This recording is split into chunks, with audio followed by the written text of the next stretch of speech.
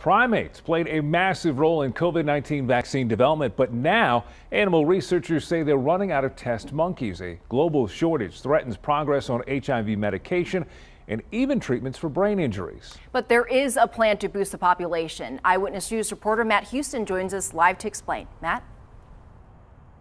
Yeah, Sharon, there is a plan. It starts here in San Antonio, but let's talk about why there's a monkey shortage in the first place.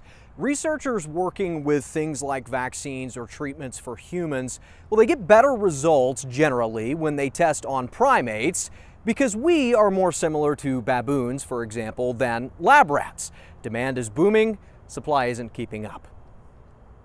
Dr. Deepak Kaushal says it's expensive to ethically breed monkeys. Even as primates became a preferred test subject for human medicine, research institutions did not get the money they needed to keep up. So we need a lot of animals and we must produce a lot of animals. And for that, we need animal facilities. It's why Texas Biomed raised 15 million bucks through donations and grants to build this, a state-of-the-art animal care facility.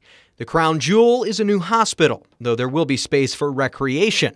Monkeys can freely move inside or out to play with toys or even watch movies. Happy primates make better models, and, and so uh, it is a mandate to enrich our primates' life for us.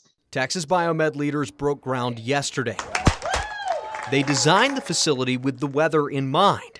Researchers stayed overnight with their monkeys for days during the winter storm, but still needed to amputate frostbitten fingers and tails from 159 baboons. None died.